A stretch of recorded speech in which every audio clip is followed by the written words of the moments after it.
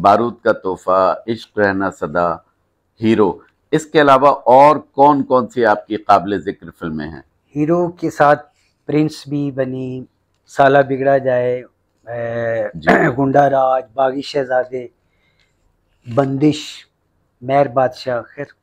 लेकिन एक दो मैं बीच में से चीदा चीदा वाक़ इस दौरान के आपसे शेयर करता हूँ। जो एक ट्रेंड था ना एक कल्चर इंडस्ट्री में ऐसा भी रहा है कि जिसमें जो लोग माशरे में, यानी जिनको बदमाश समझा जाता था, या इस लेवल के लोग, जो दोस्त वाले लोग, या ताकत वाले, ज़ाहरी ताकत वाले लोग, वो लोग भी फ़िल्म में बना रहे थे ना। तो मैंने उस दौरान सुल्तान रई साहब की बड़ी फिर मसरूफियत होगी, क्योंकि गुरु चेला में ये अलहमदुल्ला मैंने किया कि राई साहब के नीचे रैम्बो को लाया। ये भी मेरे सीनियर हैं। तो ये एक कारोबारी एक, उसका भी बड़ा अच्छा एक हमें रिस्पांस मिला। फिर राय साहब भी ज़्यादा, अलहमदिल्ला फ़िल्में कर रहे थे। आगे और गुंडा राज के दौरान राय साहब की और फ़िल्में भी चल रही थी। है ना, बागी शहजादे के दौरान का वाक्य। बागी शहजादे में भी बड़ी मल्टी कास्ट की फ़िल्म थी। मोहसन हसन खान बड़े अच्छे मेरे प्यारे दोस्त हैं। साइमा बेगम सुल्तान राय साहब आरिफ लोहार हैदर सुल्तान बागी शहजादी उर्दू बागी शहजादे कराची में उर्दू थी यहाँ पंजाबी ओके डबल वर्जन हाँ नाथा साहब ने वहाँ रिलीज़ की थी यहाँ मियाँ खाजर फरोज में। तो ये अरशद अली प्रोड्यूसर था फौत हो गया इसका। अल्लाह उसको की रहमत कर। इसके मैं सेट पे था। उस वक्त एक ट्रेंड था कि मैं नाम नहीं लूँगा, हमारे वो कुलीग हैं, लेकिन वो फ़िल्में बना रहे थे, लोगों के ऊपर उनकी दहशत थी। उनका स्टाइल ये बन गया हुआ था, वो डेटे नहीं लेते थे आर्टिस्टों से। उन्होंने अपनी जब शूटिंग अरेंज कर लेनी, जिस किसी का भी सेट है, वो सिर्फ़ इंटर होते थे, वहाँ शूटिंग बंद हो जाती थी। और जिस आर्टिस्ट को वो इशारा करते थे या कहा होता था, वो उस शूटिंग छोड़ के डायरेक्टर से भी पूछे बगैर। वो चल पड़ता था। यानी उनका खौफ ऐसा था कोई अदाकार थे आर्टिस्ट थे वो? प्रोड्यूसर थे। प्रोड्यूसर थे। तो जगह टाइप लोग थे समझ नहीं जो ट्रेंड चला था इस टाइप की फ़िल्में का और वो बनाने लोग आए। वहाँ ये होता था कि लाजमन है जो लोग ऐसे चल पड़ते थे वो अपनी ज़िंदगी का खतरा महसूस करते होंगे तो शूटिंग भी बंद हो जाती थी आर्टिस्ट भी छोड़ के शूटिंग उस जिस फ़िल्म के लिए वो उनकी शूटिंग पे चले जाते ये स्टाइल उन्होंने अपनाया हुआ था। ये बिज़नेस असूल के भी खिलाफ और इंसानियत के भी खिलाफ। और इंडस्ट्री की तबाही का भी ये बाइस हाँ। बना लेकिन अल्लाह का ये शुक्र है मुझे इस बात पे टीपू सुल्तान रहमत याद आ गए। वो भी राजपूत थे टीपू सुल्तान। शेर की एक दिन की ज़िंदगी गिदड़ की सौ साल ज़िंदगी से बेहतर है। मुझे अलहमदिल्ला में बोल्ड था घर से ऐसी तरबियत थी और एक अब ये ग्रो आया बारिश स्टूडियो के गाँव में मेरी पूरी कास्ट उमर शरीफ भी थे अल्लाह के रहमत करे उस फ़िल्म में शकीला कुरैशी उनके साथ पेयर सारी कास्ट जब वाइंड अप पे इकट्ठी की होती है तो वो वाइंड अप की डेट्स के लिए तीन चार माह पहले से हम लोग यानी स्ट्रगल की होती है कि टैली करके लाना है सर। नरगिस भी थी सेट पे।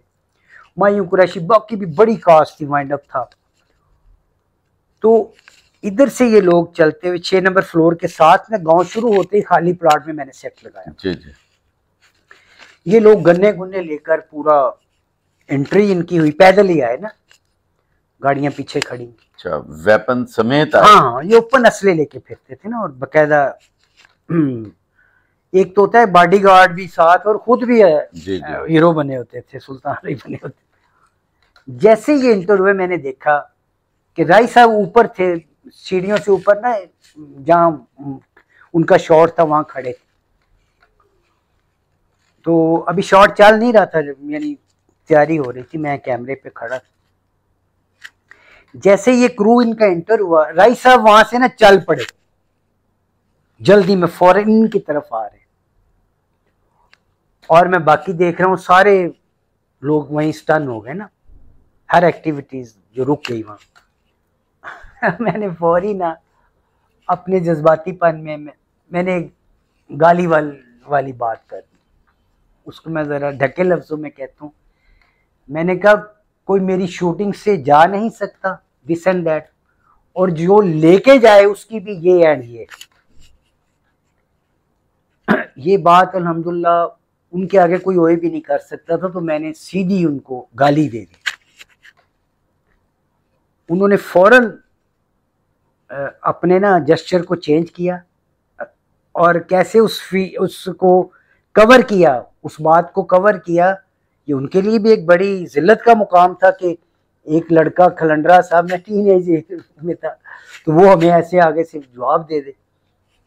वो मुस्कुराते हुए ने ऐसे, ओ राणा साहब राणा साहब, सानू माफ़ करना, असी समझिया सी ओ मेरा कुलीग ही है कि अब चले नाम ले देते हूँ हमने समझा था कि शाहद राणे का सैट है सामने तो नहीं सी पता सईद राणे का सैट है ਅਸੀਂ ਜਾਣਾ ਸੀ ਭਲਾ ਤੁਹਾਡੇ ਸੈੱਟ ਤੇ मैं तो समझ रहा था कि अब ना ये मेरे भाई का नाम इसलिए ले रहे हैं कि अपने आप को और मुझे कवर करने के लिए हाँ। मैं क्या पलवानो आप आए हैं मेरे सेट पे ये किन ये अंदाज गलत है आइंदा आप एहतियात करना तो कहते हैं ठीक हो गया जनाब एक हम आप रिक्वेस्ट आपसे कर सकते हैं, मैंने बताएँ। कहते हैं, हमारी शूटिंग है बकर मंडी साइड पे। एक घंटे के लिए आप सुल्तान राय साहब हमें स्पेयर कर सकते हैं। रिक्वेस्ट मैंने कहा, मैंने अपना सारा जेन में, अपना सारा व्यूलाइज जो किया हुआ था उसको शॉर्ट डिवीज़न के हवाले से, चूँकि मार्जिन होता है कि आप दूसरी कास्ट के शॉर्ट ले सकते हैं, बीच में से टाइम एक आर्टिस्ट के लिए निकाल। मैंने कहा, पल, उसको कहा, पलवान जी, एक घंटा आप कह रहे हैं, इंशाल्लाह डेढ़ घंटा तक मैं आपको टाइम दे देता हूँ, मैं राय साहब को कहता हूँ, आपके साथ चले जाते लेकिन आप ये जेन में रखिएगा कि डेढ़ घंटे बाद राय साहब इधर हूँ। मुझे उधर ना आना पड़े। वो बड़ा मशहूर मशहूर हो के ना, वो ले गए शूटिंग लेकिन ये जो स्टाइल था, इसके आगे पहले सबसे मैं खड़ा हुआ ना बड़े बड़े मुझसे डायरेक्टर और ये नहीं होता था। इसके बाद एक वाक़ और हुआ। खैर वो राय साहब वापस जो प्रोड्यूसर था ना वो भी उस वक्त सेट छोड़ के निकल गया। किस उसको थोड़ा अंदाज़ा था कि कहीं सईद राना इनसे आगे खड़ा ना हो जाए और यहाँ जंगो जलल का निज़ाम ना हो जाए। तो फिर एक वाक़ हुआ। टॉप टेन से मशहूर हुए वो लोग। दुबई में चले गए। तो जिससे दे मौला फ़िल्म बना रहे। थे मसूद भट्ट साहब। मसूद भट्ट साहब डायरेक्टर थे जिसे देमोला जो प्रोड्यूसर थे ना। जी। यानी कई कत्ल उन्होंने किए हुए थे और उनकी सिर्फ़ इंडस्ट्री पे दहशत नहीं थी सब लोगों पे बड़ी दहशत। उनका स्टाइल तो होता ये था कि वो मैं फ़ोन किया तो आर्टिस्ट को जो कहना है उसने करना। मेरी सिंध में शूटिंग थी एक फ़िल्म की और मैंने शाजिया खुश को वहाँ से लिया हुआ था। उसके एक ही फ़िल्म है वो। कौन सी फ़िल्म? परांदा। परांदा। हाँ जी। तो मैं यहाँ से शफकत चीमा बहार बेगम अरबाज खान अरबाज खान की भी पहली वो पंजाबी फ़िल्म। इन सब लोगों को वहाँ लेके गया। अरबाज खान की पहली फ़िल्म घूंघट नहीं है? नहीं नहीं। घूंघट उर्दू एज ए उर्दू पहली फ़िल्म वो अच्छा। पंजाबी। पंजाबी। परांदा। में वहाँ शफकत चीमा की मेरे पास डेट थी। तो एक तो यहाँ से मुझे समझ नहीं आई शफकत चीमा को मैंने कहा, ना, तुमने, मैं इनको लेके जा रहा हूँ, आप बाद में मुझे ज्वाइन कर रहे बड़ा बिज़ी था। मेरे वो भी शागिर्दों में, अल्लाह उसको, उसकी सेहत तंदरुस्ती आजकल अलीम है। यहाँ से वो शफकत चीमा कहने लगा कि, एक आप मेरी मदद कीजिएगा, मैं आपके पास आ जाऊँगा, उसका सेक्रेटरी हम चूँकि इसको मैंने बाई एयर का हुआ था, मंगवाया पहुँच हमें बाई एयर एयरपोर्ट तक आपके जो दोस्त हैं वो हमें एयरपोर्ट तक छोड़ मैंने कोई बात नहीं। अब मेरे जहन में ये बात नहीं थी कि कोई और मसला चल रहा मैंने कहा चले कोई प्रोटोकॉल चाहता होगा कौन हम्म। वो आ गया वहाँ। मोबाइल फ़ोन अभी शुरू शुरू ही थे। उसको फ़ोन आए उसके मोबाइल मुझे अंदर वाली बात का नहीं पता। जब फ़ोन आए ना शफकत चीमा फ़ोन ना सुने। उसने सॉरी फ़ोन बंद ही कर दिया हुआ था शूटिंग पे। अब फ़ोन आए बहार बेगम को पीछे से। वो शफकत चीमा को कहे शफकत चीमा फ़ोन ही ना पकड़े। तो वो आ, ये दो तीन दफ़ा शूटिंग इन बिटवीन हुआ। अब क्या हुआ कि फ़ोन आया तो बहार ने उससे सीनियर थी कहा गल कर वे शफकत चीमा फटाफट उसको पकड़ाया तो शफकत चीमे ने फ़ौरन क्या किया, जैसे कोई बला हो, बंदा उतार के दूसरे के गले में डाल दे। उसने कहा, ओ सर, है तुम सही राणा साहब ने गल करो। उनके आगे एक करता धरता था लावा। लावा नाम था उसका, जो उनका डिस्ट्रीब्यूशन भी संभालता था और सारी प्रोडक्शन के। और मुझे अंदर की सारी बात का पता नहीं है। उन्हें, उसने मुझे कहा कि शफकत चीमा जेड़ा फ़ौरन भेज दो साड़ी शूटिंग मैंने कहा कि ये तो मेरी डेट्स हैं।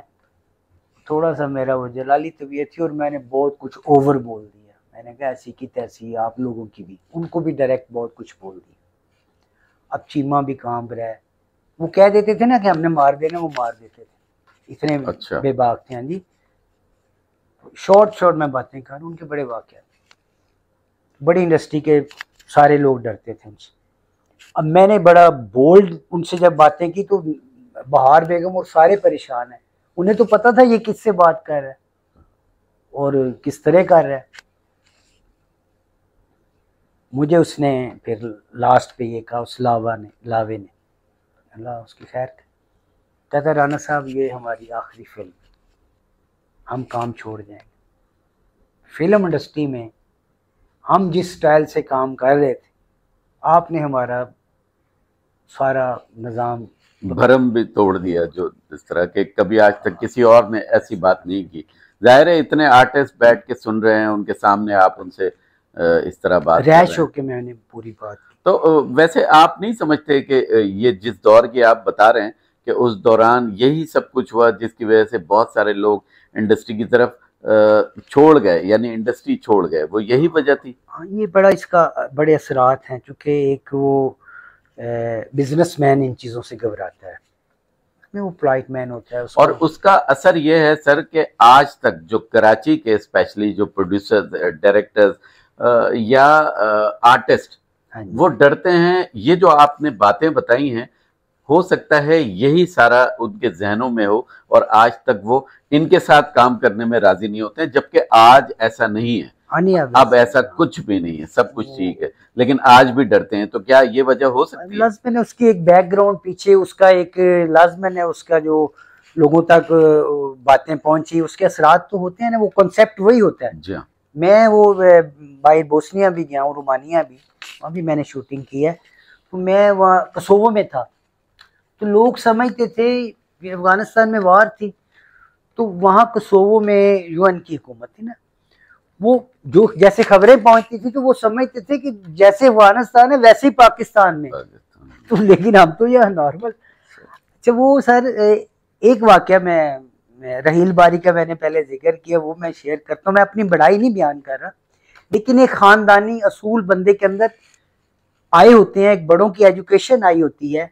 या कोई तरबियत या एक, अपना इनर होता है, ये चीज़ें एक ज़िंदगी का हिस्सा होती हैं। किसी भी शोबे में हो।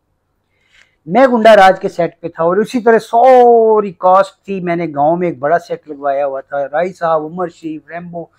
ये उमर शीफ रैम्बो और सैबा, उसका नरगस खुशबू और साइमा तीनों का सॉन्ग था। और विलन डैन में था। मायूं कुरैशी, सारे बाकी लोग।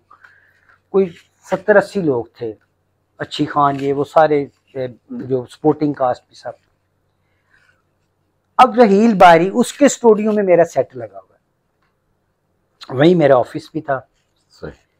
रहील बारी साहब मेरे सेट पे आके बैठ गए वैसे कोई आता है बंदा वैसे शूटिंग या वैसे कोई अपना बैठ गए मैं अपनी शूटिंग कर रहा था। सैमा ऐसे साथ बैठी थी जो शूटिंग के दौरान जो दूसरे आर्टिस्ट का शॉल ने तो आर्टिस्ट बैठ जाते वो बैठी, वो आके पास बैठ, लाजमन स्टूडियो ऑनर थे चाहे वह जो भी इंटरटेन ऑनर मैं ज़रा दूर था कैमरे पर और उधर शॉट्स ले रहा था और पीछे से ना मुझे एक रोला गोला आवाज़ आई।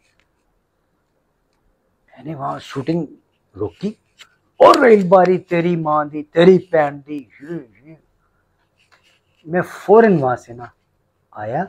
अब वो रहील बारी को डायरेक्ट गालियाँ दे रहे थे वो भी प्रोड्यूसर तो कोई उनका कोई मामला स्टूडियो का कोई मामला हुआ होगा कोई होता है ना बीच में कोई बड़ा उस वक्त फ्लोर नहीं मिलते थे।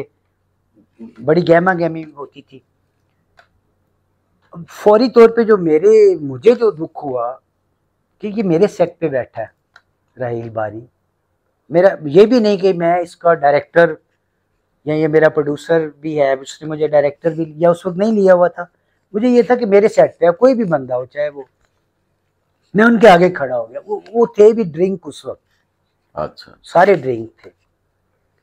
मैं आगे खड़ा हो गया। मैंने आगे से उनसे बढ़कर अल्लाह के फजल से उनको डबल जवाब दिया रिएक्शन दिया। अब उनमें जो मेन आदमी था ना उसने दो फ़िल्में यहाँ प्रोड्यूस की हैं। वो उन अपने हवारियों को कहते हैं उसमें कैसर शाह और जितने भी थे गन्नो असलोवाल वो तो ऐसी भी ऐसी पीछे हट जो दफ़ा हो जाओ तो नहीं पता राणा साहब का सेट थे। कि मैं, मैंने उसको कहा कि तेरी ज़रूरत की हुई कि मेरे सेट के उत्ते? मेरे सेट पे बैठा एक मेहमान है तुम इस तरह इस तरह की बातें करो इंसल्ट करो उसकी। आपका कोई मामला है? आप उस, उसके घर में या उससे अलहदा या उसके ऑफ़िस में? यहाँ आपने ये गलत किया और मैंने उसको बड़ा फील किया और उनको फील करवाया।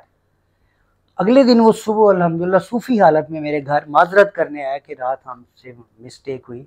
हमें ऐसा नहीं करना चाहिए था कि आप उसके सेट पे आ तो ये भी एक अल्लाह का फजल है कि जितनी ये यहाँ की बदमाशियाँ थी ना उनके आगे आपने मुकाबला किया और खड़े रहे। अल्लाह ने करवाया और अल्लाह की मेरे साथ मदद थी और मेरे साथ पीछे फैज़ कलंदर पाक रहमत का और एक वाक़ सलमा आज भी वो इंडिया में भी, जहाँ भी हो, वो ज़िक्र ज़रूर करती है। पाकिस्तान में उसके ऐसे लोगों से जब वास्ता पड़ा, सलमा आगा को उन्होंने कहा, तुम्हें हम पाकिस्तान में रहने नहीं देंगे। स्टूडियो तो बड़ी दूर की बात है। तुम पाकिस्तान में इंटर होकर दिखाओ। माफिया टाइप लोग। किसी ने उसको कहा, आप जैसे खैर खा बंदे ने कि सईद राना को। मेरे साथ कोई उसका ना ना फ़िल्म की हुई, ना तारफ। सईद राना को फ़ोन कर ले। मुझे फ़ोन आया। उनका खैरियत उसने कहा, उसे मिलना चाहती खैर, मुलाकात उसने कहा कि मुझे ना ऐसे ऐसे मुश्किल है कि मैं पाकिस्तान में, मैं शोबिस में तो मेरा सारा निज़ाम है तो मैं, मुझे तो धमकी दी पाकिस्तान में भी नहीं रह सकती। तो मेरे छोटे बच्चे हैं। मैंने कहा, नो प्रॉब्लम, कोई मसला नहीं। मैंने कहा कि, मैडम, मैं एवरन्यू में आपको बुलाऊँगा और आप, मैं माने खसूसी होंगी मेरी फ़िल्म और आप मेरा सॉन्ग भी मिक्स करेंगे। उस दिन जिन्हों, जिन बंदों ने उसको तड़ी लगाई हुई थी ना, धमकी दी हुई थी, उन तीनों लोगों के ऑफ़िस उस दिन वो उन्होंने बंद कर दिए स्टूडियो नहीं आए और पूरा प्रेस पूरा निज़ाम ओपनिंग हुई। फिर मैंने मेहर बादशाह की ओपनिंग भी सलमा से करवाई